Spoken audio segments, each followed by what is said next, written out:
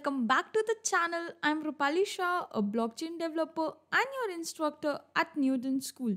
So, in this video, we are gonna see a demo of how you can upload uh, images, how you can upload anything on IPFS. It would be a demo video and uh, before moving to our demo e video, let me introduce you with Newton School. It is an edtech company that helps you to become a full stack developer. So, if you are someone who is uh, interested in becoming full stack developer, then you should really check out the link in the description because then you will be getting the course details and you will be knowing that how our company would help you to become a full stack developer.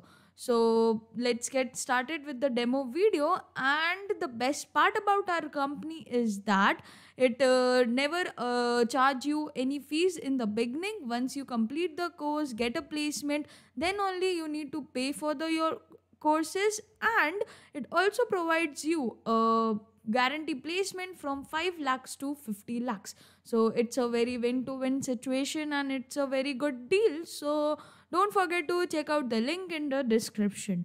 Now let's get started. Let's move to our VS Code and let's see how we can store stuff decentralized way in uh, Web3 storage.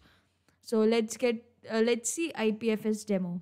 So this is my uh, React application, a very basic application with just accept a file from your local system like you can just click on this button choose file and you can just uh, choose any of the files. And uh, we, we need to upload this file on IPFS using uh, IPFS HTTP client library. And uh, this library is uh, basically from npm uh, so we are gonna use that library too and storing files on decentralized network would be cool because like your files can't be tampered or it can't be deleted. So that's a good thing right?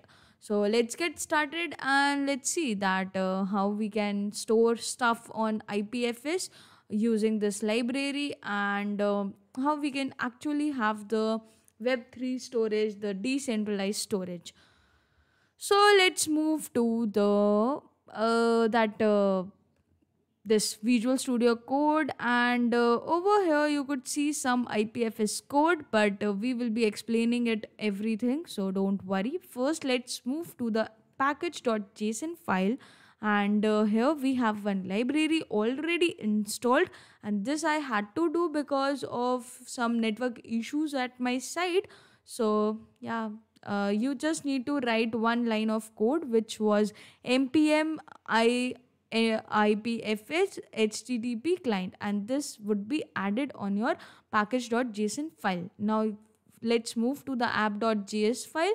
It's the main file that gets rendered on the like um, front end side, the React side.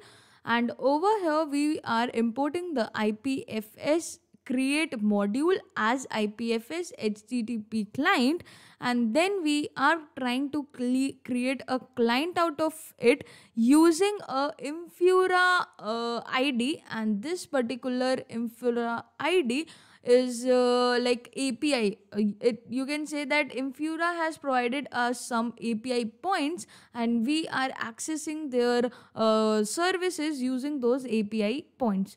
So this API point we are calling and uh, we are creating the client.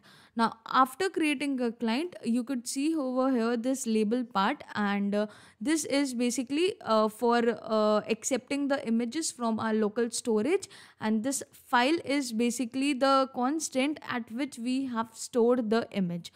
So let's see a demo of it. Uh, let's choose a file. Uh, let's select a file basically and over here you could see that this file name was oip2.jpg its size was 22092 and its type is image slash uh, jpeg so this way we had a file and uh, this particular file basically uh, helps the, us to like uh, uh get our uh, like helps us to get a particular file that we would be storing on a blockchain uh, on decentralized network which was ipfs so after creating like after getting the file and creating the client now it's time to uh, basically store data on blockchain. So let's create a variable add and this uh, variable would be having a client uh, dot uh, add function like uh, let's first see that on printing client what we would be getting. So let's have the console of client also. Client uh, see oh yeah. Uh, let's move to the browser. Refresh it. Choose a file uh, this file. And over here this client has so many functions like the block the block stamp the cat and so on. But our main function would be add and using this add function we are gonna store the file on the blockchain and this add function is a async function. So we would be using await and that's why we have created our on chain function as async so now what we are gonna do is we are gonna just use client dot add and we are gonna add the file at the client side.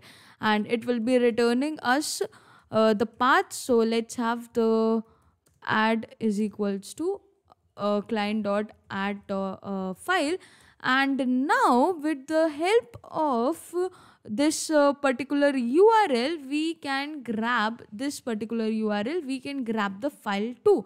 So we are gonna have the url over here and uh, this url uh, like uh, right now we are gonna say add dot path because uh, this add is having the path which our client is gonna return. The the uh, basically ipfs client is gonna return while after storing the file on their particular blockchain. So now let's have a console of this thing uh, console.log url and let's see that how it works. So let's have a refresh let's clear out everything and let's choose a file. So let's choose this third file let's open the file and we got a undefined thing so I guess, okay, I told you to have the await thing because we saw that uh, this was a async function and that's why it would be uh, like taking some promises. So yeah, now it should work.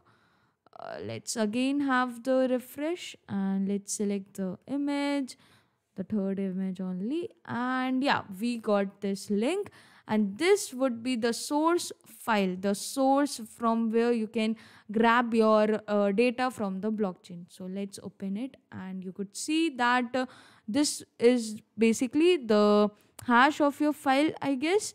And uh, this is a unique hash like for every file you will be getting a unique hash. And uh, when you will be using this hash on uh, like uh, browser with the help of https request and IPFS Infura ID, you could grab that image uh, on your browser. So that's it for today guys. I hope you enjoyed this video and learned something new out of this. We just want to give you a demo like how you can use IPFS clients and IPFS to uh, store data on uh, blockchain store data decentralized way.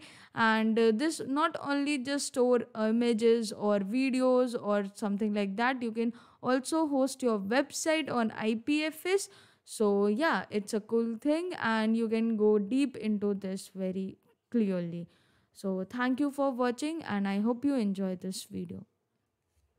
Don't forget to like this video because it motivates us to create more videos like this and subscribe the channel because that will keep you connected with us and we will be coming with more and more and more blockchain stuff on the channel very soon